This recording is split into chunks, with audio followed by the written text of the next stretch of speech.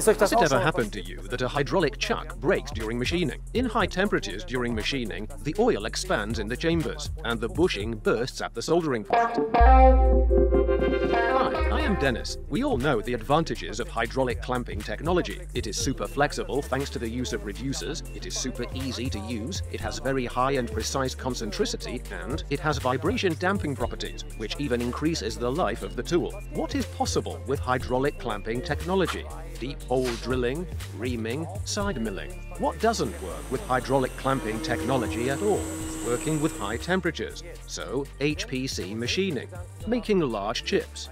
Until now, because we have thought a lot about it and developed a new chuck for you, the Garant Master Chuck Hydro. Thanks to the new chamber technology and the new position of the chambers, we were also able to move the clamping screw elsewhere.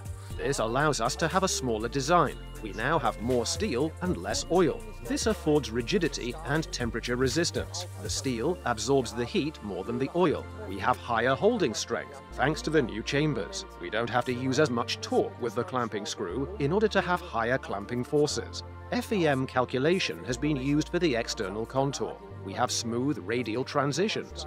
This affords even greater rigidity to the entire system. Our main focus for the slim variant was on the outer contour. We have succeeded in increasing the clamping force significantly. It is not quite as high as for the performance variant, but that's why it is called performance. It has exactly the same external contour as a shrink-fit chuck of the same size, with the advantages of hydraulic expansion technology, very easy handling, and you don't need a shrink-fit device. With the new chucks, we have greatly expanded the field of application of hydraulic clamping technology. I bet that will also suit your company. Why not talk to our colleagues from the external sales department at the Hoffmann Group? See you later. Have fun with it.